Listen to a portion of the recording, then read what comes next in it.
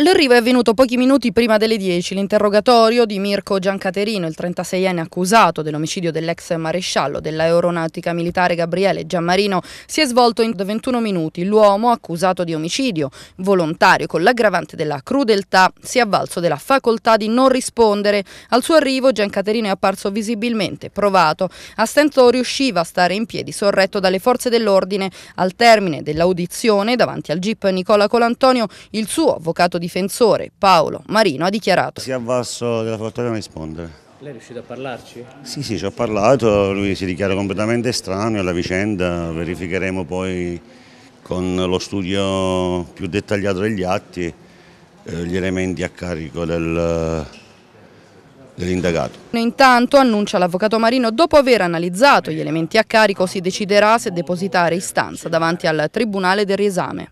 Prossimo appuntamento davanti al Tribunale di Giudice? No, non c'è se non eh, nel caso in cui depositiamo istanza al Tribunale di Esame. Intanto spunta un testimone che dice di aver riconosciuto Giancaterino mentre fuggiva dal palazzo dove si è consumato l'omicidio, testimonianza che si aggiunge alle immagini registrate dalla telecamera di una tabaccheria vicino al luogo dell'omicidio. L'abbigliamento che appare nei video è stato rinvenuto nella casa dell'accusato dai carabinieri della compagnia di penne.